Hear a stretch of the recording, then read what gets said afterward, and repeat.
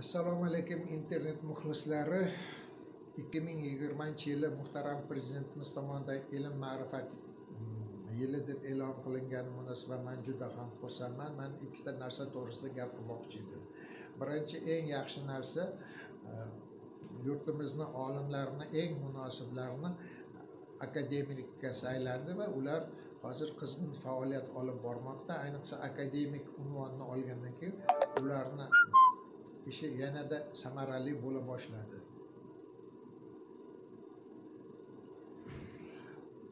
Mana shu akademiklarga qo'ygan talablarni ichida ikkita fan doktori va bir nechta nomzodini chiqazish kerak degan talabni man uncha tushunmadim. Chunki agar bu talabni agar akademik bartl akademik ubaydulla karimovlarga qo'yganda ular hech qachon akademik bo'lmas edi.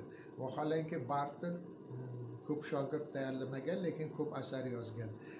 Akademik mm, ubaydulla karimov ko'p shogird tayyorlamagan lekin ancha muncha odam qilolmaydigan e, abu rayhon beruniyni saydana asarini tiklab mana shu xalqimizga taqdim qildi. Hamda bu olim ko'p gapirmas edi ko'p nima qilmas edi lekin u olimni hayoti ibratli kam gapirsa ham gaplari juda ham mazmunli edi.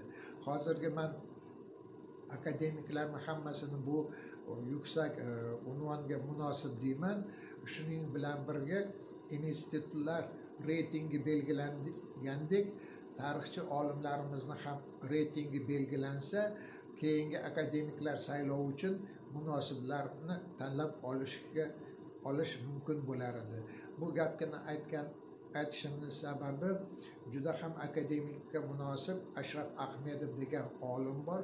Bu olim ham sharqshunos ham aniq fanlar e, vakili va u bechora e, xafa bo'lib aytdiki maniga e, o'xshagan mutaxassis kam bo'lsa man ularni qanday qilib doktorlik qilaman? deydi.